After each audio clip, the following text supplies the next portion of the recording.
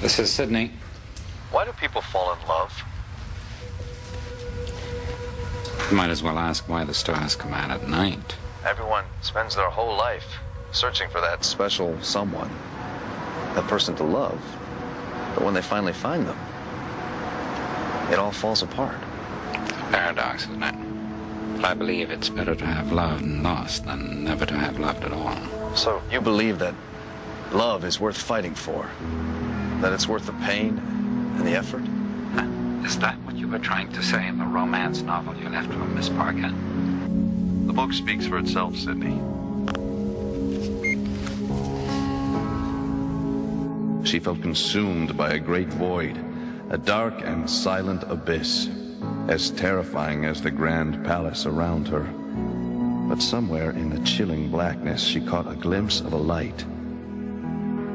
She remembered a time, the precocious little girl with a heart full of fire, a soul inflamed by passion, and a smile that could melt winter into spring. But the light was gone. The flame had died. Her past was taken from her by the soldiers of the great palace.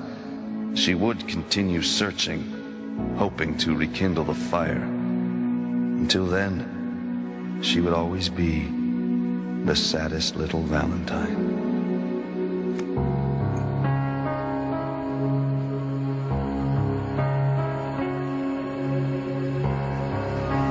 It was in a secret hiding place. Want to see? Is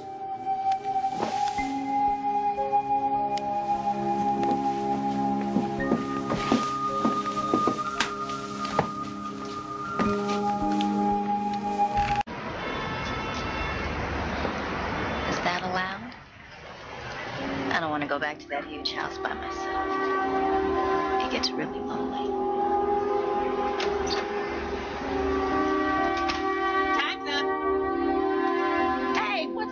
Happening? Are going over these renovation plans or what?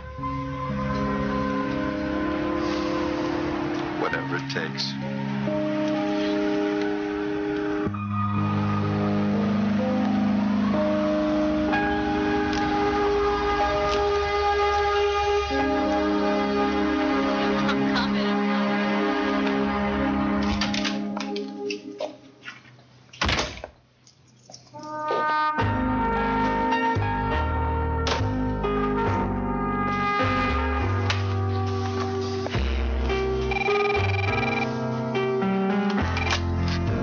What? They say 'tis better to have loved and lost than never to have loved at all. Do you believe that's true? If you're lonely, call a 900 number. Did you read my book?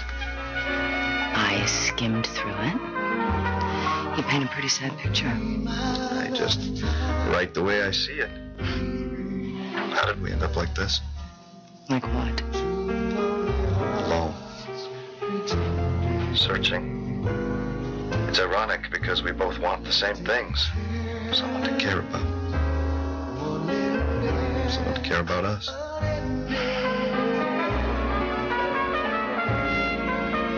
Do you think we'll ever find that kind of love in our lives? What the hell do you want from me, Jarod?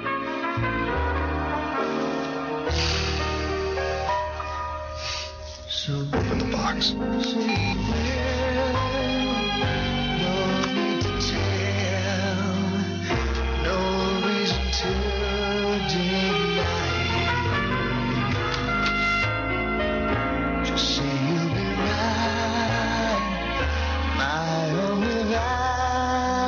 Valentine.